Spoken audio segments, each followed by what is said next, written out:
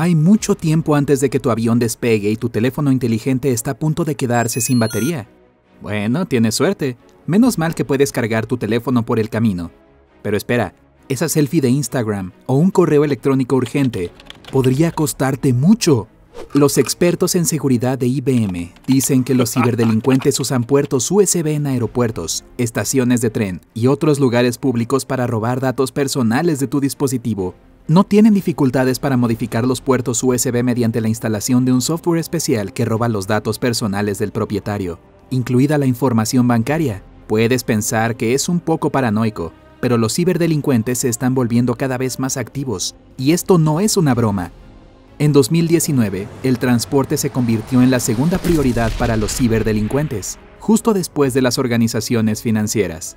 ¿Puedes creerlo? Los cargadores USB pueden ser fáciles de usar y se instalan en lugares públicos por la comodidad que suponen, pero no son necesariamente seguros. Caleb Barlow, vicepresidente de X-Force Threat Intelligence de IBM Security, dice que los viajeros siempre han sido vulnerables. Hace siglos eran atacados por piratas, pero hoy en día la mayoría de los robos ocurren a nivel digital. La cuestión es que los teléfonos inteligentes reciben datos a través del mismo puerto USB desde el cual se cargan. En 2016, el personal del laboratorio Kaspersky aprendió a instalar software externo y virus en teléfonos inteligentes utilizando cables USB. Todo el procedimiento solo les tomó tres minutos. Claro, el gurú de la seguridad cibernética usó su descubrimiento para desarrollar un antídoto, pero los que buscan robar tu información no serán tan nobles. Cuando conectas el cable a un tomacorriente comprometido, conectará tu teléfono inteligente o tableta a una unidad externa que iniciará el proceso de copiar tus datos o de instalar un virus en él.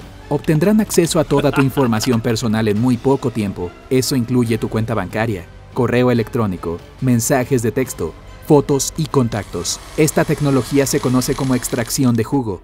Otra forma que usan para robar tus datos se llama video jacking, que también se basa en el uso de un puerto USB modificado. Toda la actividad en la pantalla del teléfono inteligente se graba en video y les permite a los ladrones ver qué escribes y qué tipo de información buscas. A veces ni siquiera se molestan en hacerle algo al puerto en sí, simplemente dejan un cable enchufado ahí. Barlow dice que el sujeto malo probablemente no desarmaría el puerto USB frente a todos, pero podría enchufar un cable especial ahí y esperar en casa frente a su computadora portátil. Una persona que pasa puede ver el cable, que coincide con su dispositivo, y comenzar a cargarlo. Y ahí es cuando el software se mete en tu tableta o teléfono inteligente y copia algo que prefieres mantener en privado.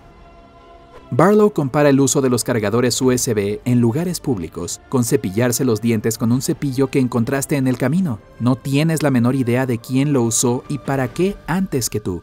Pero ¿hay alguna razón para que los propietarios de los últimos Android y iPhone se preocupen? Después de todo, los mejores cerebros del mundo están trabajando en tu seguridad. Después de que los productores de teléfonos inteligentes se enteraron de la extracción de jugo, añadieron medidas de seguridad adicionales a tus dispositivos. Ahora, iOS y Android solicitan tu aprobación para conectarse a un dispositivo externo, pero si eres propenso a aceptar cualquier cosa que ofrezca tu teléfono inteligente sin mirar, eso no será de mucha ayuda. También hay otros riesgos. Si tienes un Android con un sistema operativo anterior o el modo de depuración USB está desactivado, no será difícil instalarte un virus. Hay una función en los últimos dispositivos de Apple llamado modo restringido USB. Es un mecanismo de defensa innovador que prohíbe el intercambio de datos durante la carga a través de un puerto USB. Los modelos de Android enfrentan mayores riesgos, aunque también están equipados con su propio software que prohíbe el acceso no autorizado a tus datos. Si estás utilizando un dispositivo con la última versión del sistema operativo, en teoría no debería haber mucho peligro, pero aún así si necesitas cargarlo con urgencia en un lugar público, no uses un puerto USB público. Nunca sabrás lo que se les ocurrirá a los ciberdelincuentes. Entonces, si la única forma de garantizar la protección contra el fraude es evitar el uso de cargadores USB en lugares públicos, ¿Qué puedes hacer si tu teléfono inteligente tiene poca batería? Bueno, trae un cargador común y conéctalo a un tomacorrientes común. Esto es lo menos cómodo, ya que no hay tantos en los aeropuertos, pero definitivamente es seguro. Otra opción es cargar una batería portátil en un puerto USB y luego cargar tu teléfono inteligente con ella.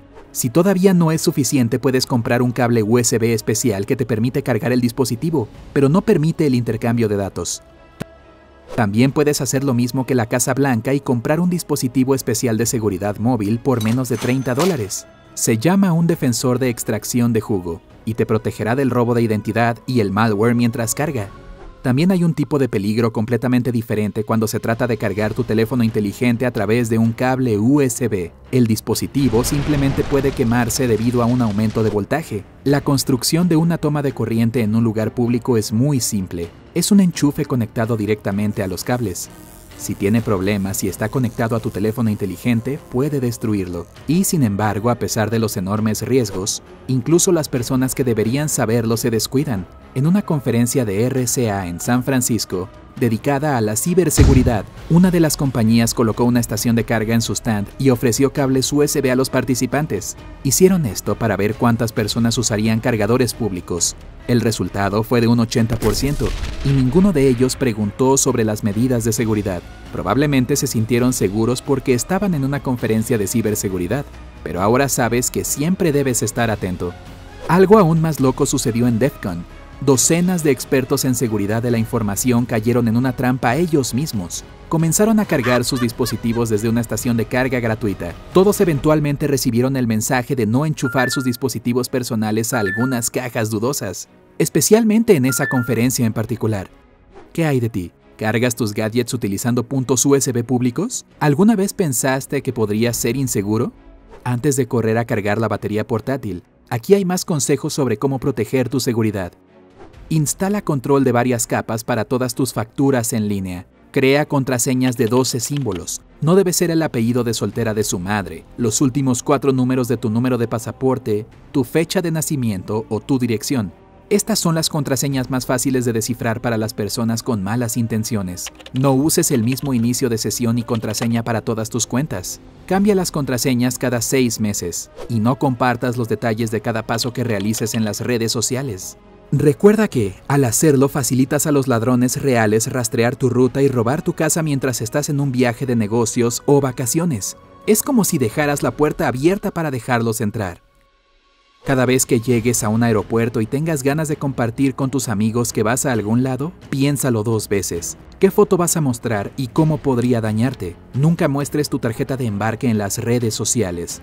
A primera vista parece que la única información que se puede obtener es el nombre del pasajero y la referencia de reserva, pero alguien podría acceder a tu información personal en el sitio de la aerolínea, donde se guardan los datos del pasaporte, el correo electrónico y el número de tu programa de fidelización. Con esta información podrían cancelar tu boleto de regreso y tus vacaciones se arruinarían.